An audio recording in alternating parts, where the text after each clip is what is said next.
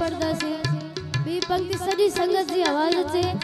कृपा करे कोई भी रसना खाली न गगन दमा